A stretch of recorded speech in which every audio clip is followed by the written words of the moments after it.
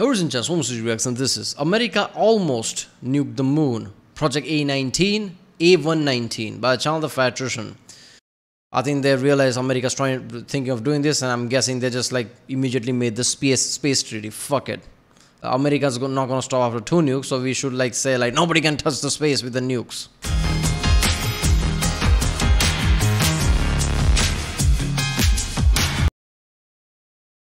Yeah, so I think I watched which channel was that? I think I watched one of the videos on this. Forgot the name of the channel. I think long ago. I don't know, like multiple years ago. I'm pretty sure I watched the video on this. I don't remember much from it, so it's still gonna be interesting. Yeah. So I mean, Federation doesn't normally cover projects, uh, you know, videos like this. Uh, this is like this is unique in its like thing right nowadays like mostly like military stories this and that something something happened this was like a year or two ago this video so yeah i don't know uh, what was that channel i keep forgetting the name of the channel but yeah there are many stories like this but this, this doesn't feel like Fat Electrician type of story but yeah it's still gonna be interesting let's watch it Remember, if you like my reaction, don't subscribe. So I know we start videos to react to more. Check out the Rick Sandy. There's a link in the description. Check out the end card. You can really help out the channel by helping the algorithm that way. And yeah, let's watch it. Today we're talking about the time that America wanted to nuke the moon. But first, this video is brought to you by JX Tactical. They make a holster for everybody. Everybody. For example, I look like one of the anonymous henchmen from the Spy Kids movies, so I prefer their trademarked fat guy holster. So if you have a body and you're looking for a holster, I would recommend JX Tactical. Okay, back to the story. Ladies and gentlemen, almost one decade the story. Ladies and gentlemen, for a holster, I is that him? I think because of the cap and glasses, I can't really know it. I don't know would recommend JX Tactical. Okay, back to the story. Ladies and gentlemen, almost one decade before Neil Armstrong would take one giant leap for mankind, America almost made one giant yeet out of spite. You see, it all started on October 4th, 1957, when the Soviet Union launched the world's first satellite, Sputnik 1. And because they did it before America, America pretty much lost all of its chill. This would come to be known as the Sputnik Crisis. America would pretty much immediately found NASA as well as DARPA. And a short four months later, on January 28, 1950, yeah, I, I don't think America even had the priority of anything space related, right? Soviet Union is like with the you know rocket formula and everything. They tried to like experiment with that, right? And the first Sputnik wasn't just something; it was an intercontinental continental ballistic missile. Obviously, America didn't have that because Russia was that was the literally first time they were doing it. So they can literally reach any part of the planet, even North America, through that. So Sputnik was most like a, I don't know, like a, we can do this type of thing on your face type of thing. It wasn't just some achievement. Oh, we are on space. You know, like oh, every, everybody just gather around, look at the TV. We achieved something. Yay for the country. It wasn't that. It was like a flex. I can get to you now through space. So America's like screw that. It's like DARPA, NASA. I just went fully insane. And that short period of time was so insane because of that apollo program a lot of like environmental agency also get founded around that because now everybody's america's looking at earth through space eyes let's just say. So this they saw a lot of things differently. So a lot of things gets founded around the same time. But basically started with sputnik because it wasn't just some like oh out of spite now to be first. No it was like a defense challenge right? Uh, soviet union can get to us. Now we have to do something to get to them they would put their first satellite into outer space, known as Explorer 1. Sure, getting your country's first satellite into outer space in like four months is pretty impressive. However, it was the second satellite in outer space, which means nobody cares. If you ain't first, you're last.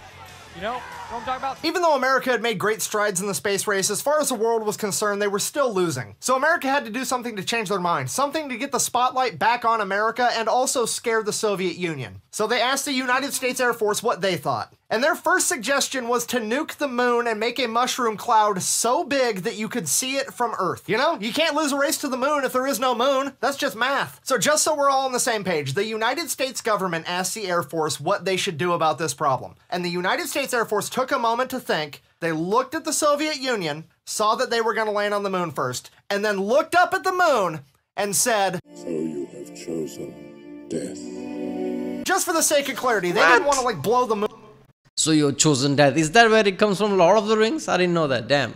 Moon up like the moon would be gone, but they did want a new crater that you could see from Earth. And this is the part where I want to tell you the government came back and said, that's ridiculous, we're not doing that, and that was the end of it. Nah, That's not what happened. Instead, they gathered 10 of the world's best scientists and began work on what is now known as Project A119. You know, they really wanted to hit that sweet spot between creating a big enough mushroom cloud and not yeeting the moon out of the Earth's orbit, subsequently killing everyone. Okay, so the smart guys did all the math and all the thinking, and the official plan they came up with in order to like kick the moon's trajectory in any ways like you need significant enough uh during this time did they have like thermonuclear bombs or did they just 1949 i don't know exactly.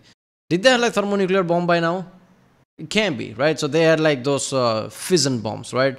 The one they dropped at japan. You need a lot of bombs like that.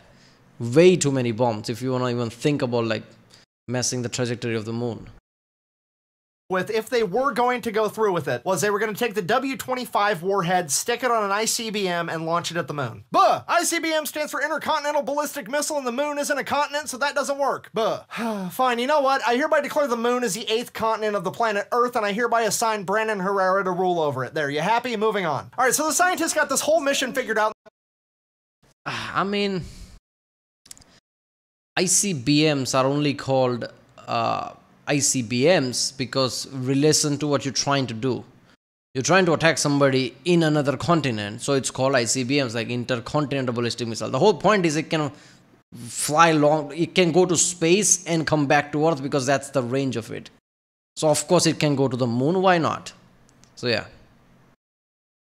and they were ready to go. Thankfully, they decided not to do it. There's a plethora of potential reasons, and they never actually said why for sure. So I'm just gonna rattle some of those off. One, there was a fear that the general public would be pretty pissed off. Two, there was a fear that if the rocket malfunctioned before it broke the atmosphere, it would plummet back down to Earth and detonate. Three, they didn't want to contaminate the moon with radiation to prevent any future missions. I Four, mean... at this point in time, they still thought there might be a potential for cellular life on the moon, and if there was, they didn't want to kill it. And five, and what I think to be the most likely reason, due to the lack of atmosphere, the nuclear bomb would not actually generate a mushroom cloud, it would yeah. just be a flash. Personally, I like to think as soon as the Air Force heard that, they declared the whole idea lame and destroyed all the evidence and moved on with life. Or so they thought. You see, they destroyed. I mean, mm, yes, there won't be any mushroom cloud slowly moving. It will be like relatively fast flash. But as the flashes go, I mean, come on. We really gonna pass on the thing like, oh, that's the moon and that's the flash. That was us. Like, but then again, like they didn't have that much powerful nukes back then, so how big of a flash it would be, right? If you like Castle Bravo type uh, nukes, if you like combine them multiple bombs or something like make a big one, throw it at the moon, just enough so it doesn't fuck up the moon in the anyway, and that flash would be big. So I don't know.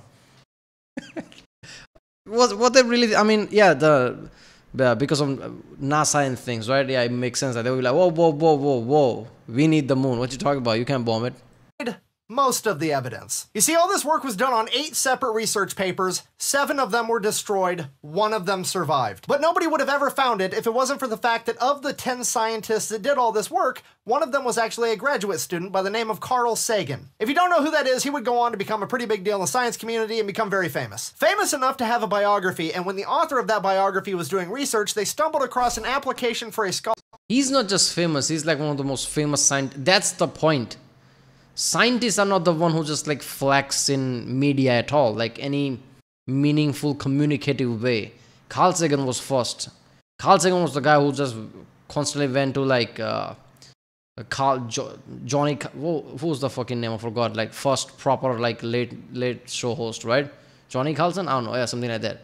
He was constantly there. Just basically how Neil deGrasse Tyson is doing now he was doing it then but he was alone. Nowadays a lot of people are doing it. He was literally the first right? He was the guy who just like went to the public. He was a PR agent, let's just say, PR guy for the science, which is like feels smaller, but it's not. It's like a celebrity level thing, right?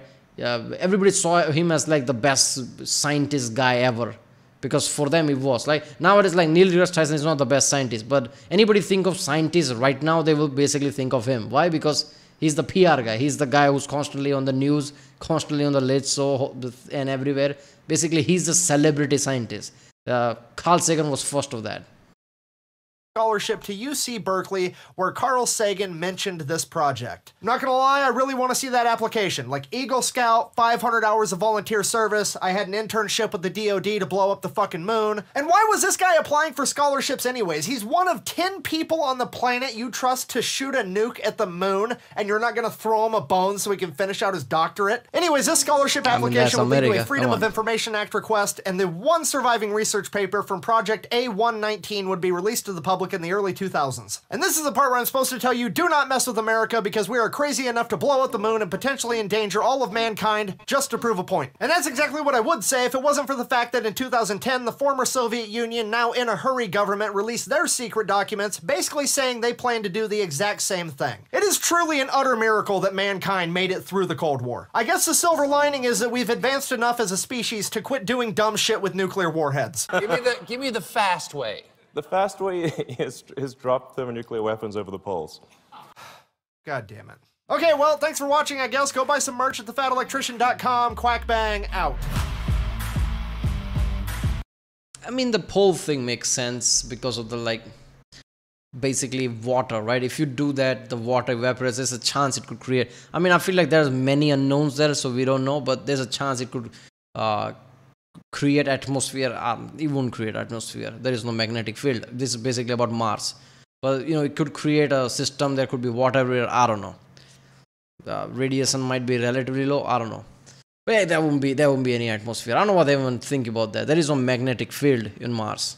If you're not a magnetic field, you're not stopping a lot of radiations. Like every type of interstellar, uh, interplanetary, all type of radiation coming from the distance, you're not stopping that. So yeah, but there you go.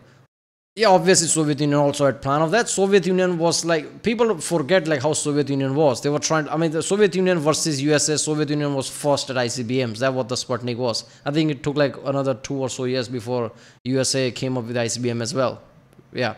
So Soviet Union was trying to do first a lot. So it's not surprising to me that they think like, oh, what if we nuke the moon? But yeah.